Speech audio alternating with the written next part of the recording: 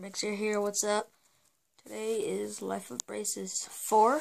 So today has been okay. I can chew burgers now the normal way instead of cutting them with a fork, which is honestly pretty weird for me, just considering that I'm in Texas right now. But yeah, so I'm able to eat burgers the right way. As long as they're soft, I can like get it and then kind of pull off but I considered that to be perfectly fine. So today has not been bad at all. I've, um, there's only one tooth that's really hurting still, and it's this back one. Uh, yeah. It's, for some reason, it's one of the teeth that don't have a brace on it. I don't really know why it hurts. Okay, no. Okay, yeah, it does have a brace on it. I don't know why it's hurting, but pretty much every other tooth is just fine now. So, I'm good. So today's been a pretty good day, considering it's only day four.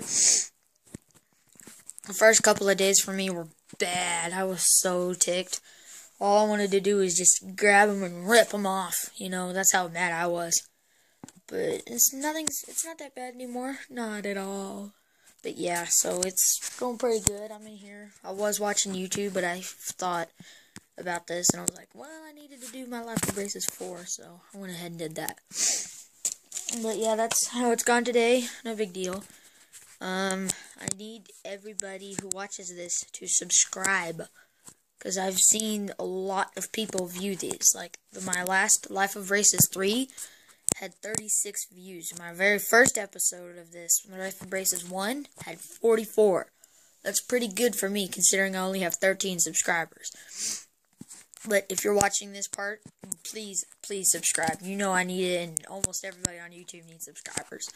Unless they just don't care. So, yeah, subscribe to my channel, leave likes on the videos. I know you probably don't want to, but I would really appreciate it, so go ahead and do that. And that's pretty much all the news I have for today. It's going pretty good. And they're already straightening out, see? Earlier, about five days ago, before I got them, they were all just totally messed up. Like, you could just see it without me even opening my mouth. You could just tell. But now they're starting to straight out. I gotta get, I just gotta get these two front two to go into alignment. So that's good news. But yeah, if you enjoyed this video, leave a like and subscribe as I said earlier. And I will see you guys in Life of Braces 5. See ya!